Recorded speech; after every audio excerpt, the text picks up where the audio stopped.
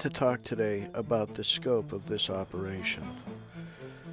From the confession letter, we learned that there were six barricades. Now, that's a car in front, a car uh, behind, a car to the uh, left, actually, three cars on the left, and then the Cadillac pulling up makes that sixth barricade.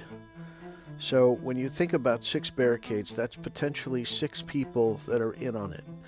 Now, I don't believe Frank Alexander was in on it. He was driving the car that was behind, so maybe that makes it five, maybe it makes it four, but they they orchestrated this so that there would be six barricades. So there's a potential of six people.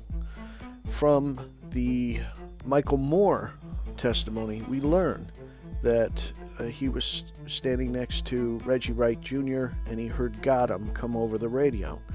Then he hears another voice that comes on the radio that says, Don't say nothing over the radio.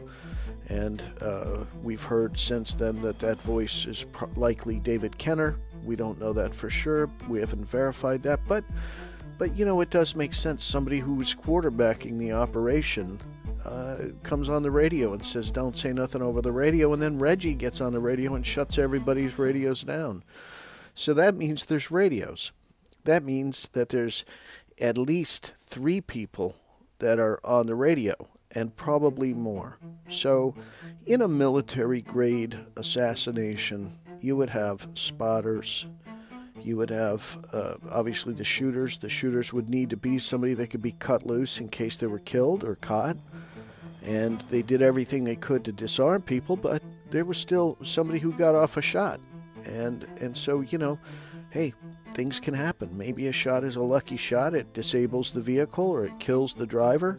And next thing you know, the shooters are caught. So you have to have shooters that can be cut loose in case something happens.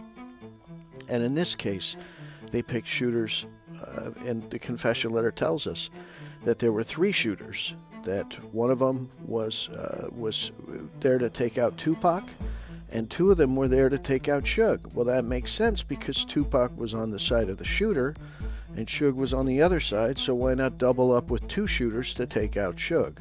Now we're also told that one of those guns jammed, and uh, that uh, the other shooter only got off two shots at Suge, and so that makes sense that Suge was only grazed by a bullet, or you know he wasn't severely injured and uh, so this all starts to make sense. So let's think about this in terms of a movie set. The only thing that you see at the conclusion uh, of the work that's done to make a movie is you see the actors acting their parts. Now, what you don't see, you don't see the generators, you don't see the cable, you don't see the technicians, you don't see the director, you don't see the technicians, you don't see the DP that's photographing this. So, in a similar fashion, and a lot of intelligence organizations, uh, thanks to uh, uh, Gary Webb, or not Gary Webb, George Webb. George Webb, who's doing an investigation I've been listening to, and I'm stealing some of his nomenclature, and it's a really interesting investigation into where Eric Braverman and Seth Rich went. I don't want to get embroiled in that, but I just want to shout out to them because I'm, I'm definitely learning some of the intelligence uh, tactics and some of the intelligence nomenclature. They call it a school play. And so when you think about the school play, you have to have a director. Who's the director? It's likely David Kenner. He's a criminal defense attorney who had many, many years of trials come up.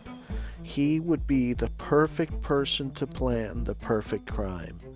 And so you have a director of the school play. You have actors that are acting in the school play. Some of those actors were over at the MGM Grand Hotel. You had Orlando Anderson, who, you know, took a beatdown. Why did Orlando Anderson take a beatdown?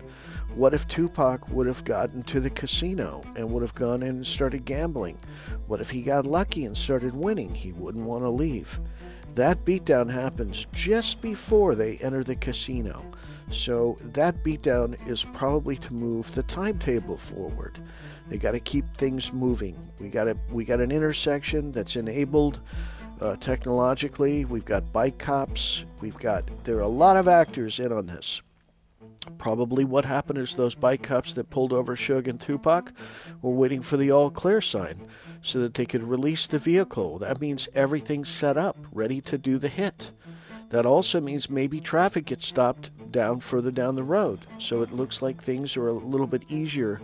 We allow a little congestion to get out of the way ahead so that the vehicle can escape. This is the type of thing that happens in a military grade operation.